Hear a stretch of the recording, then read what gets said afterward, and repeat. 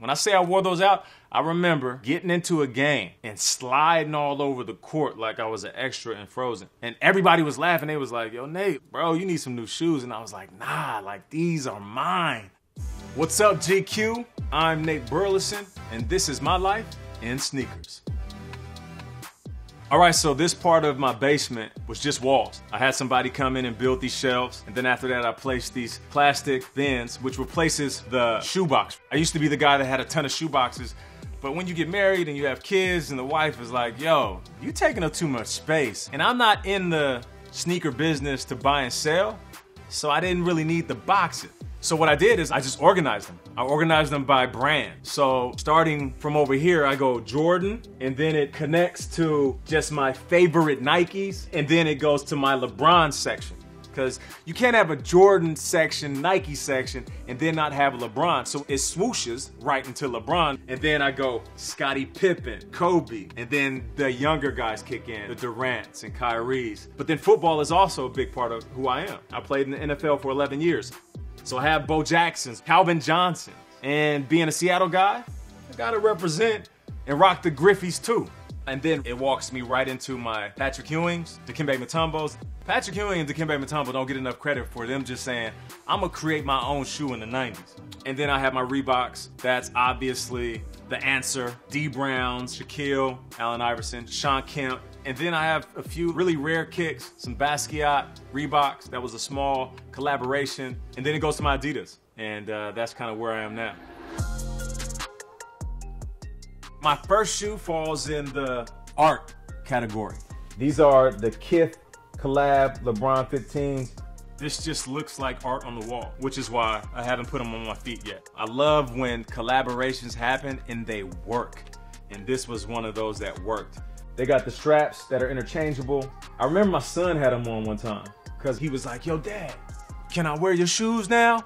And because I kind of feel like that old man who's turning into a hoarder, I was like, yeah, go have at it, man. Just make sure you don't go play tackle football or play kickball with a golf ball on concrete. Like, don't scrape up my kicks and don't spill ketchup on them. And if you do scuff them, just wipe them off and put them back. And he was walking around in these. And I was like, yo, yo, yo, yo, yo, yo, what you doing?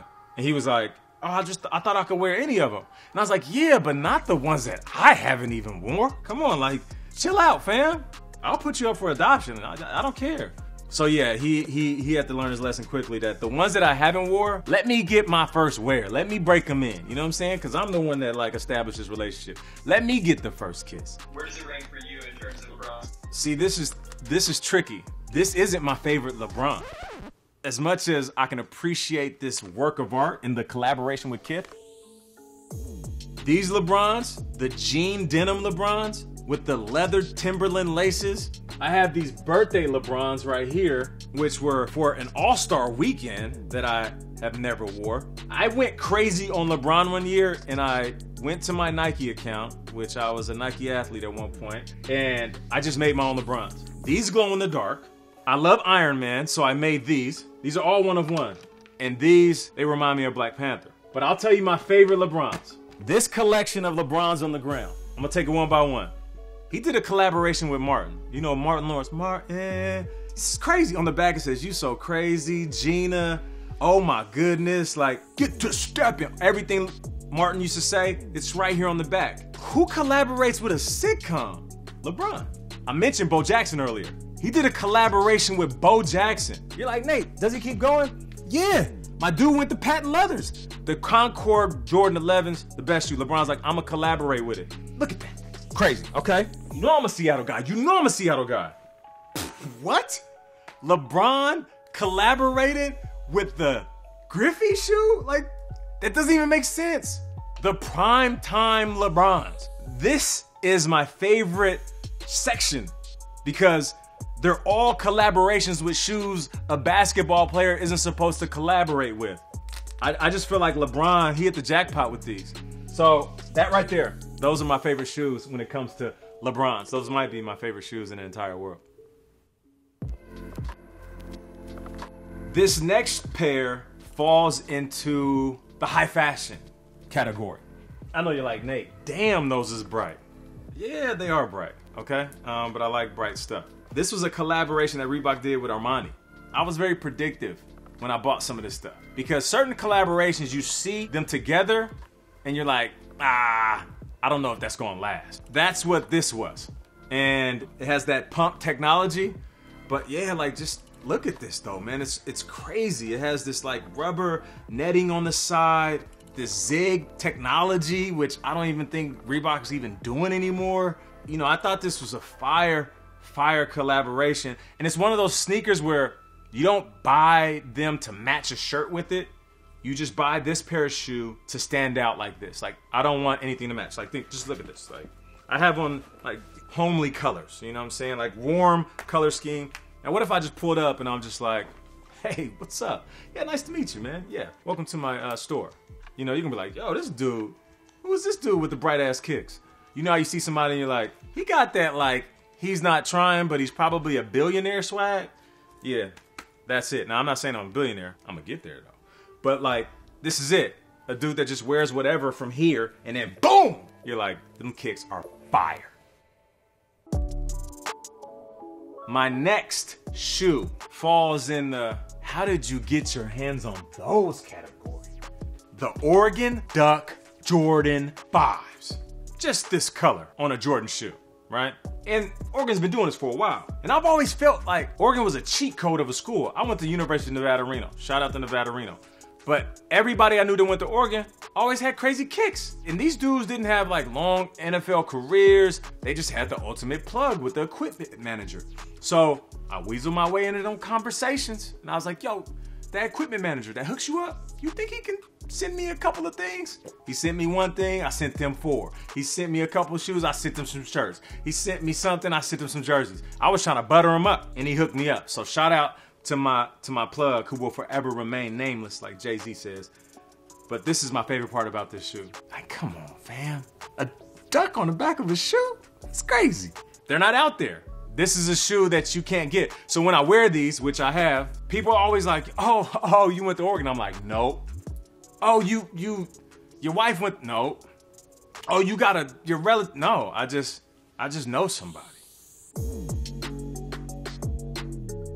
My next pair is going to be the Adidas Jeremy Scott collaboration. These are probably my most unique sneakers. And by the looks of them, you can tell why.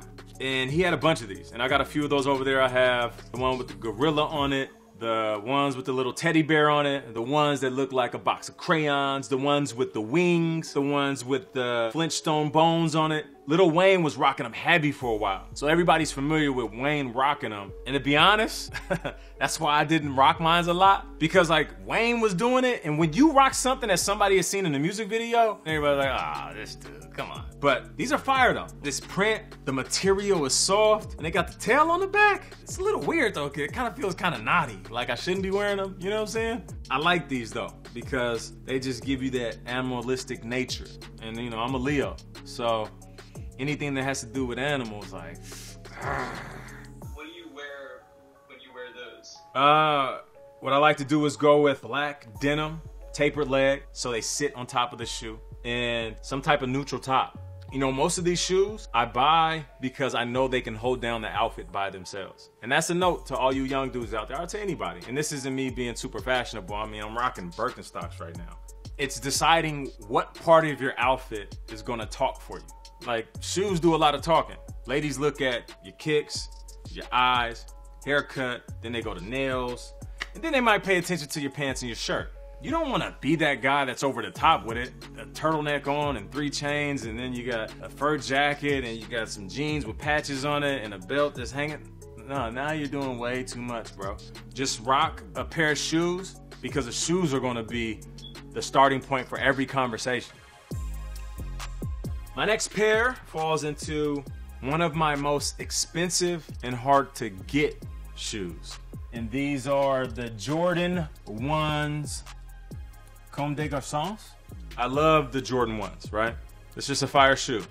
Two, I love all black. All black, you can rock with anything. But what makes this special though is the buckles. Hear that? Is that, Ra- that Rudolph? It's not Christmas, fam. It's just my shoes. I saw these and I was like, yo, those is fire.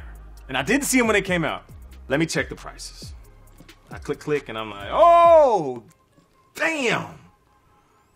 Because this is a hard leather. So it's not like your typical Jordan shoe. And then the buckles on it, I mean, that just gives it a whole different vibe. I walk around with these. My wife is like, hey, it's 50 Shades of Nate night tonight. I'm like, yeah, you know it. I wear these with nothing on. All you hear is just me walking through the house. Clinkety, clinkety, clink. The kids be gone, you know what I'm saying? They be at school.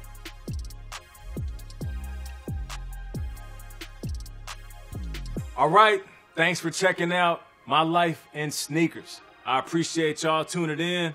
And remember, your sneakers walk in the room before you do.